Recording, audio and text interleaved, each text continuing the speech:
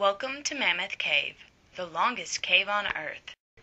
Mammoth Cave is located in western Kentucky. It has been a popular tourist destination for over 200 years and has been designated an American National Park. This is the mouth of the cave, called the Historic Entrance.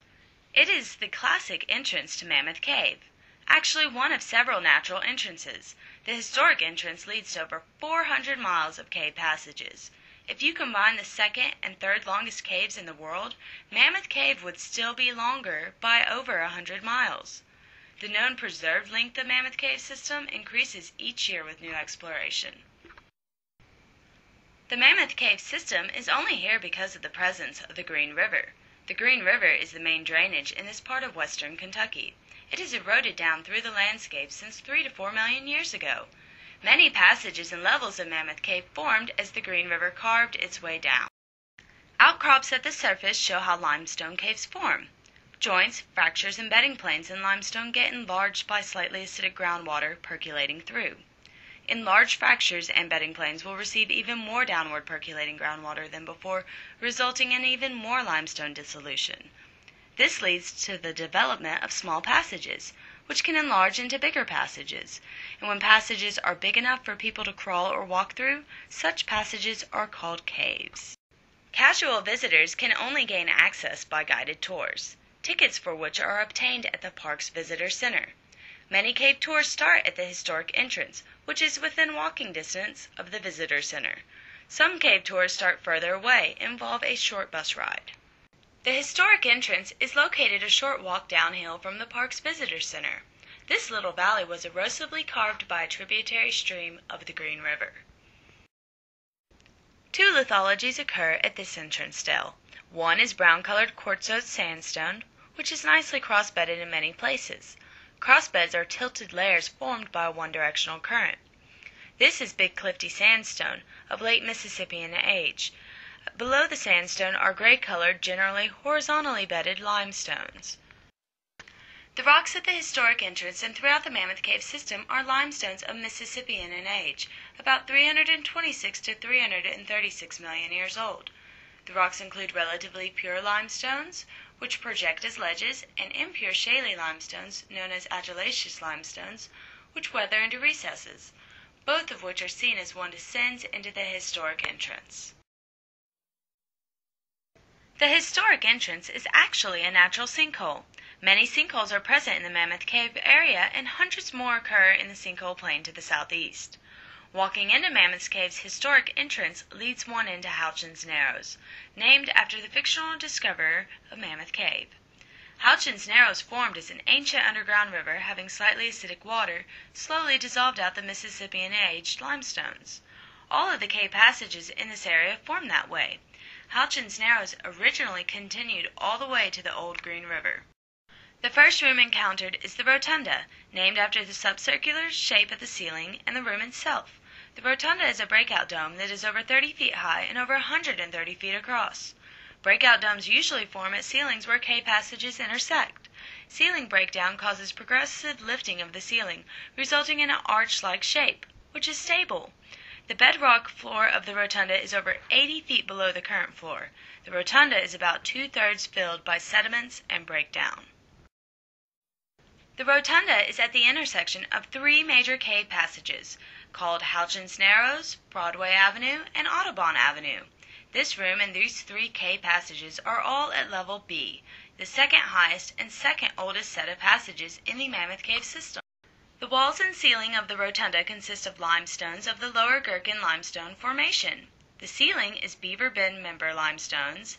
The thin dark gray interval at the top of the wall is Bethel member shaly limestones, and the rest of the walls are Paoli member limestones.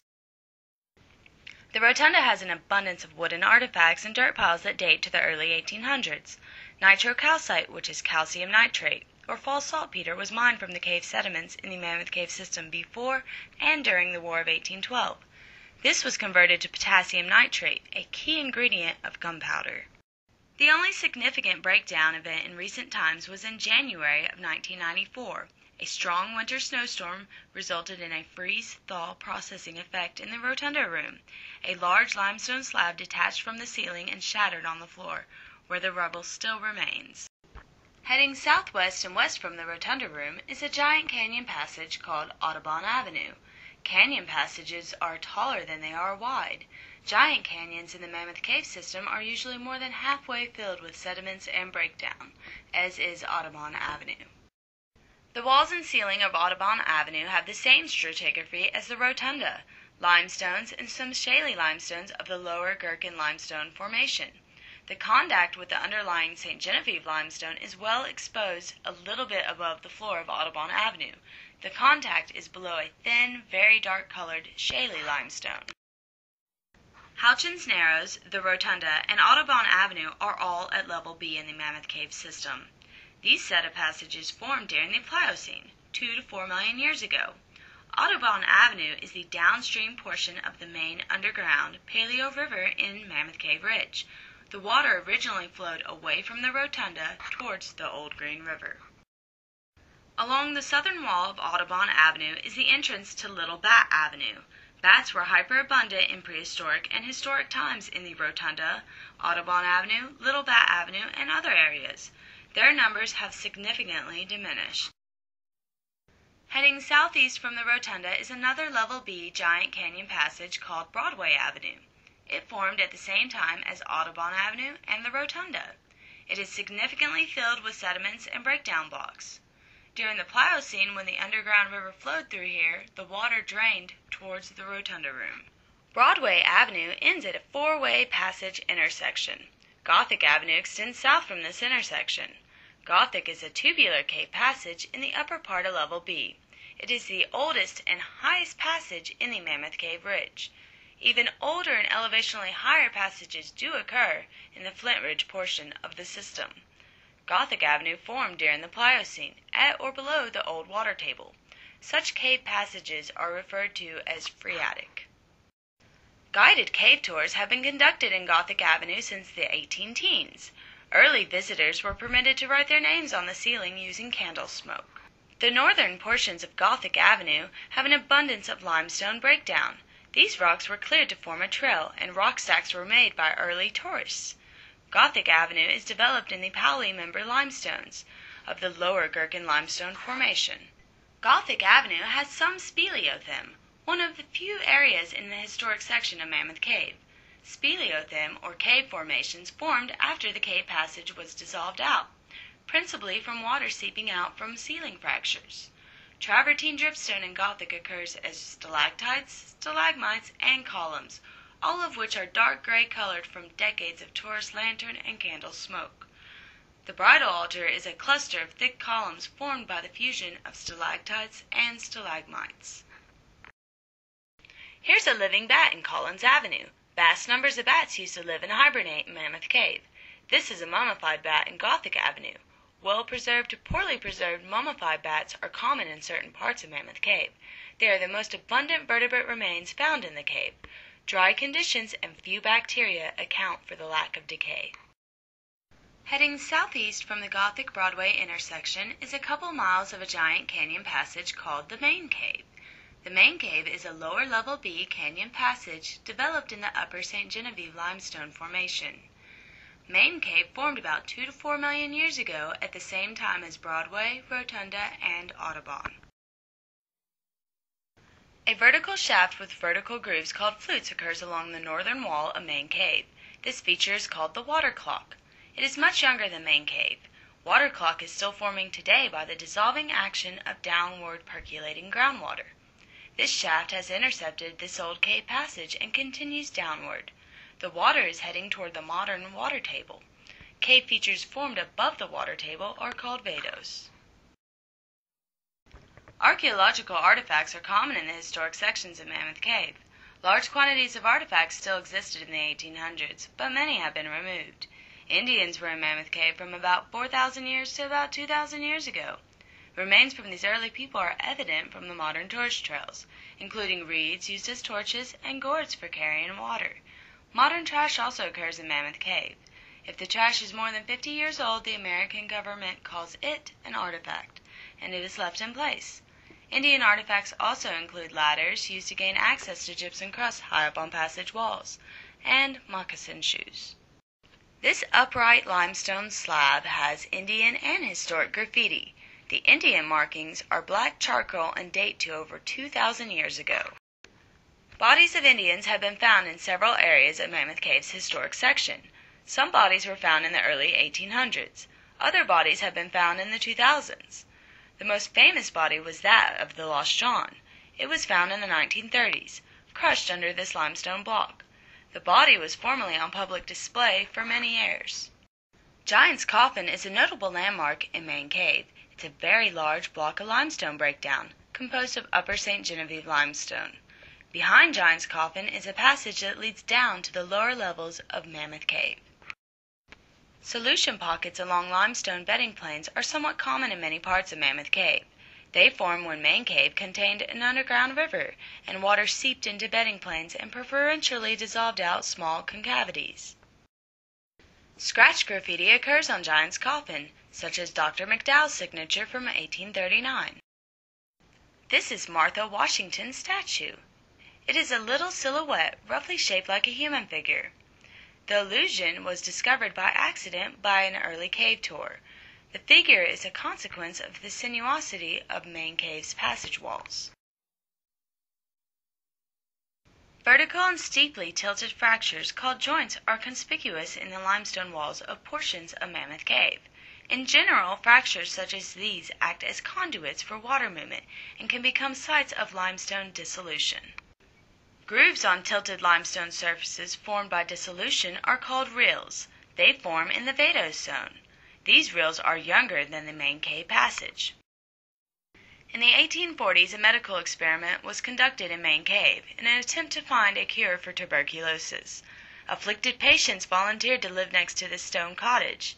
Patients died and the failed experiment was cancelled. This is Wooden Bowl Room, a subcircular shaped room just below and west of Giant's Coffin. Wooden Bowl Room is at level C, about 25 feet below the floor of Main Cave. This room is at the intersection of four passages. The level C parts of Mammoth Cave are younger than level B, and started forming about 1.9 million years ago, just after the start of a major ice advance during the last ice age. About 34 feet below Wooden Bowl Room is a passage called Black Snake Avenue. It has a well defined to irregular, elliptical cross section shape. Cave passages having this shape are called tubular passages. They originally formed at or below the water table in the Phreatic zone. Black Snake Avenue is developed in the middle of the St. Genevieve limestone. Black Snake is at level D, which formed about 1.3 million years ago during the Pleistocene. This passage, for the most part, is directly under Main Cave. Portions of Black Snake Avenue split and merge into upper and lower levels, somewhat like braided hair. Side Saddle Pit is located along the northeastern side of Black Snake Avenue. This feature is called a dome pit or vertical shaft. It is an active feature formed by descending water, dissolving away limestone, heading down toward the modern water table. The grooves along the walls of Side Saddle Pit are called flutes, formed by limestone dissolution. Bottomless Pit is another vertical shaft along Black Snake Avenue.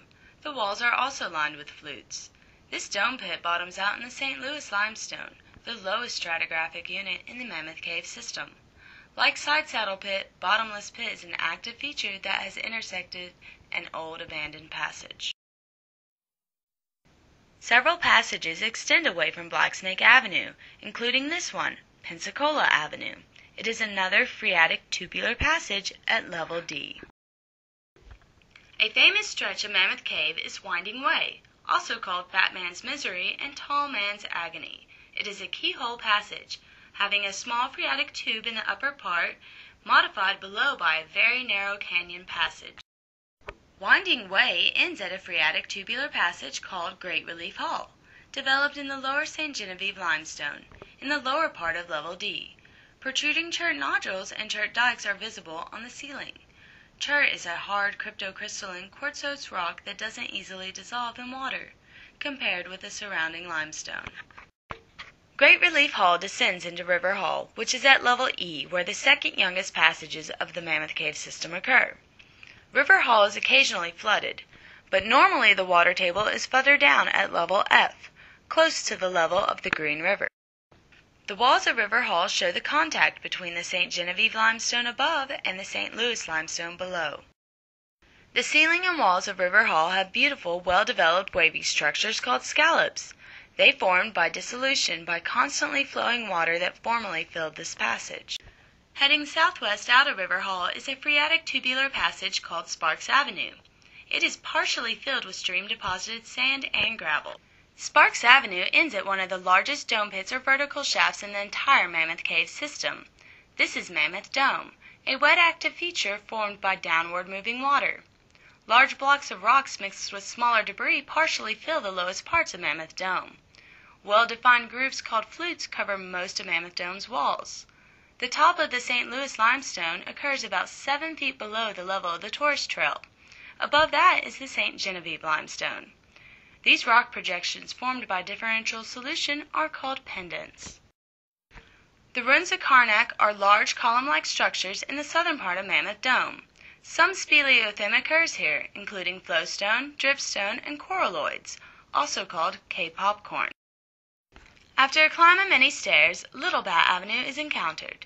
At about two-thirds the way up Mammoth Dome, Little Bat Avenue is at level B the same as Audubon Avenue, the Rotunda, Broadway Avenue, and Main Cave.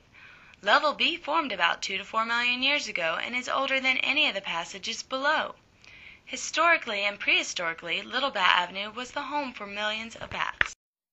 The Carmichael entrance is a natural sinkhole along the southwestern edge of Mammoth Cave Ridge. Several sinkholes occur along the edges of this ridge. Here a passage has been blasted downward through solid limestone and steps built to make the Carmichael entrance. The artificial stair step passage intersects Sandstone Avenue, a large but relatively short passage. Sandstone Avenue is a giant canyon passage, identical in overall characteristics to and the upstream continuation of Main Cave and Broadway Avenue and Audubon Avenue further north. Like them, Sandstone Avenue is developed at level B, the second oldest passage in the entire Mammoth Cave system. The ceiling and the uppermost walls are basal Girkin limestone. The middle and lower walls are upper St. Genevieve limestone. Beds of dolostone in the Joppa member are exposed in the walls of Sandstone Avenue. These dolostones have stylolites, irregular to wavy structures representing sites of pressure dissolution of carbonate. Sandstone Avenue intersects Cleaveland Avenue at a right angle. Cleaveland is younger than Sandstone. It occurs at level C, which started forming about 1.9 million years ago. Cleaveland Avenue is at the same level as the Wooden Bowl Room to the north. Cleaveland is a well formed phreatic tubular passage having an elliptical cross section shape. Slabs of limestone breakdown litter the floor of the passage. When Cleaveland Avenue was active, the water in it flowed toward the Green River. The tour is walking in the upstream direction. Cleaveland Avenue is famous for being well decorated with gypsum speleothem. When first discovered, the gypsum was bright white and glittered intensely in the light. Many speleothem have been broken and collected and stained dark gray by lantern smoke. Other parts of the Mammoth Cave system still have pristine, unbroken gypsum speleothem. Gypsum flowers are fairly common in Cleaveland. They consist of curved petals of gypsum that radiate outward. Other gypsum speleothem here includes helictites, which are halictically coiled to irregularly twisted structures on the ceilings and walls. Sulfur is needed to form cave gypsum. These gypsum speleothems got their sulfur from the oxidation of pyrite in the overlying beds. Some gypsum here is stained orangish brown by iron oxide. The iron is also derived from the breakdown of pyrite. Cleaveland Avenue is almost flat and continues for over a mile. It is developed in the Joppa member of the St. Genevieve limestone. Ceiling joints are visible in many places. These fractures are conduits for seeping water in the formation of speleothem. Cleaveland Avenue ends at the Snowball Dining Room, where many cave tours stop for lunch breaks. This portion of Cleaveland Avenue has an abundance of white gypsum snowballs on the ceiling and walls. Small pockets are present along the walls of Snowball Dining Room. These are called solution pockets. They formed when Cleaveland Avenue was active and had running water in it. Water from the ancient underground river would seep into the walls along bedding planes and slowly dissolve away pockets of limestone. Water seeping into the cave along the northeastern edge of Mammoth Cave Ridge has resulted in the formation of speleothem in parts of Boone Avenue. This is Mary's Vineyard. consisting of numerous rounded nodules called coralloids, or cave popcorn. Continuing in the upstream direction, Cleaveland Avenue becomes Boone Avenue. A canyon passage that is taller than it is wide. Canyon passages form in the Vadose Zone above the water table. Boone Avenue is so high that in many places it occupies levels B, C, and D. Kentucky Avenue, also called Grand Avenue, occurs south of Boone Avenue. The overall shape and size of Kentucky Avenue is identical to Sandstone Avenue, Main Cave, Broadway, and Audubon Avenue. It is another giant canyon passage at level B. Kentucky Avenue represents the furthest upstream continuation of level B in all of Mammoth Cave Ridge. Cave tours walk in the old upstream direction. Overall, Kentucky Avenue has smaller volumes of limestone breakdown than Main Cave, but impressively sized breakdown piles are present. Seeping and dripping water are encountered occasionally along Kentucky Avenue, resulting in the presence of dome pits with fluted walls and flowstone and dripstone speleothem composed of travertine. This is fairy ceiling, where water seeping from ceiling joints has formed small patches of travertine speleothem. Elsewhere along Kentucky Avenue are gypsum rings and rills, which are dissolutional grooves on non-vertical slanted limestone surfaces. One of the most speleothem-rich areas in the Mammoth Cave system is frozen Niagara, at the southeastern end of Kentucky Avenue. Some cave tours start at the frozen Niagara entrance. Many distinctive dissolutional and precipitational cave features are present at frozen Niagara. These include anastomoses, which are sinuous channels developed along limestone bedding that branch and merge. These were originally solution pockets. Rimstone consists of wavy to wrinkled walls of travertine, or a series of terraced walls. Rimstone is essentially a travertine dam, formed along the downstream margin of ponded water. The rimstone structures have small nodules lining them, called coralloids, or cave popcorn. Dripstone and flowstone are the most abundant speleothem type. They are typically composed of calcite travertine. Flowstone looks like a frozen waterfall or frozen rapids of water. It formed by a constant sheet flow of trickling water. Dripstone formed by dripping water. Icicle-shaped structures attached to the ceiling and upper walls are called stalactites. The corresponding structures on the floor are called stalagmites. When fused together they form columns. This is a dome pit near frozen Niagara. It has nicely fluted walls and is also decorated with speleothem, principally flowstone. Large flowstone masses terminate in dripstone. Soda straws are a type of dripstone. They are narrow, cylindrical stalactites. Coralloids, or cave popcorn, consist of irregularly rounded nodules or clusters of travertine. Individual coralloids can be small or large. This is frozen Niagara itself, a large mass of well formed flowstone. It, and the abundant dripstone above, is composed of travertine, a chemical sedimentary rock made of calcite. Flowstone is the second most abundant type of speleothem. Flowstone and dripstone both form in the Vadose Zone. Water that is rich in dissolved calcium carbonate enters the cave and precipitates calcite resulting in travertine deposits. A constant flow of water moving in a thin sheet forms flowstone. Below frozen Niagara is the drapery room, a speleothem-rich chamber having lots of flowstone and dripstone. The room also has draperies, a type of dripstone formed by drops of water trickling down an inclined rock surface. Draperies are wrinkled sheets of travertine. When lit from behind, many are translucent and show bands of impurities resulting in the nickname Cave Bacon. Many dripstone structures, stalactites, stalagmites, and columns are covered or partially covered with flowstone. Few organisms live in Mammoth Cave. Animals that are commonly encountered include bats and cave crickets. Mammoth Cave is world class and has much to offer everyone. This includes geology and groundwater research, historical and archaeological research, educational opportunities, plus good old fashioned fun.